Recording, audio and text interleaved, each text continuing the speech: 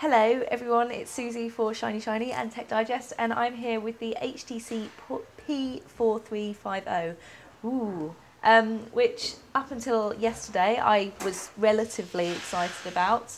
Um, and then Kat brought back the HTC Touch and now I'm kind of thinking, meh, meh, mm, but I'm going to tell you about it anyway. But let's face it, we would all actually go for the Touch given the choice.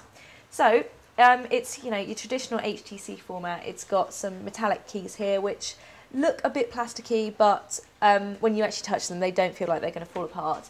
It's got a QWERTY keyboard, which slides out there.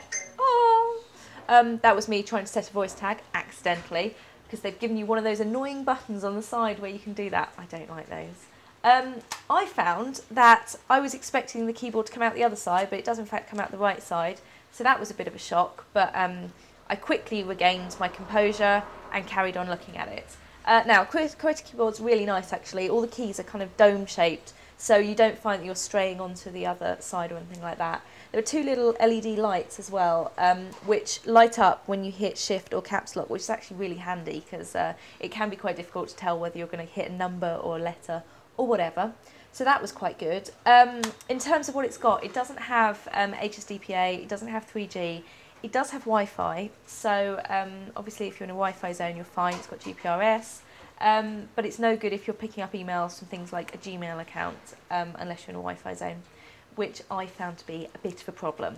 Uh, it's running Windows Mobile 5, um, so it's got the Pocket MSN application, which means you can get onto your Hotmail easily, you can get onto uh, Live Messenger easily, all that kind of stuff.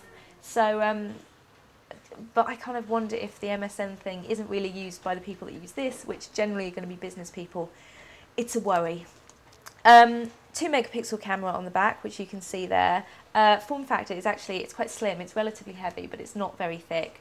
And it's got this nice kind of brushed plastic rubbery feel, which um, is quite nice, but tends to pick up white marks, I find, if you leave it flying around your bag, which I have done. So overall, actually, you know, it's not a bad um, pocket PC. It's got a nice keyboard, it's easy to use, um, it's touchscreen, but it all kind of pales into insignificance when you look at the touch. So it was exciting, now it's less so, sorry.